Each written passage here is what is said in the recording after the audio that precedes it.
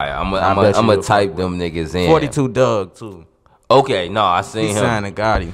Speaking of Gotti, now, Oh, transition, transition. right? So, Gotti and Key Glock dropped an album on the same day, and Gotti sold twenty eight thousand. Key Glock sold twenty nine thousand. Glock CD better than Gotti. Sorry. he came out the gate with Sorry, the shits. Sorry, Okay, though. I listened. I gotta. I haven't listened to the Key Glock, so I'm gonna. I'm not gonna cap. But I did listen How to the Gotti. listen to the I listened. I listened. I didn't even know it was out. That's why I was so surprised when I seen he sold more. Cause I'm like, damn, Gotti He got a what? song. He sold what? Look, how, what they sell exactly? Twenty eight thousand for oh, Gotti. you know already. Twenty nine thousand for Key Glock.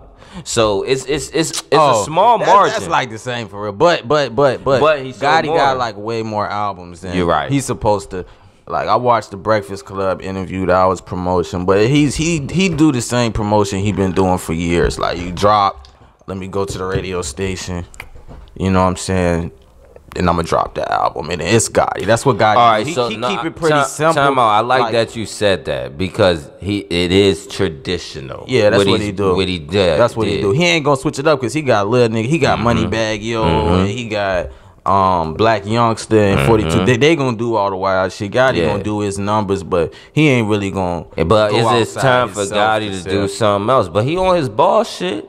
Yeah, yeah, yeah, yeah. He is. I like how the album not move. whack. The album not whack. I like how he moved. Yeah, I like, like- like- you know niggas know know Gotti. Yeah, like I, I grew up on that. Bro. yeah, You yeah, know what I'm yeah. So it's it's definitely. What up, three six? You know, I I'm gotta definitely check out Key Glock shit. So we gotta.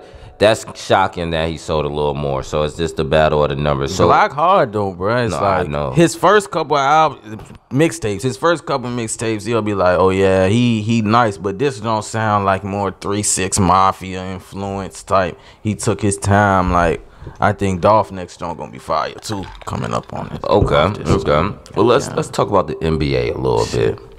Yeah, I'm saying I feel like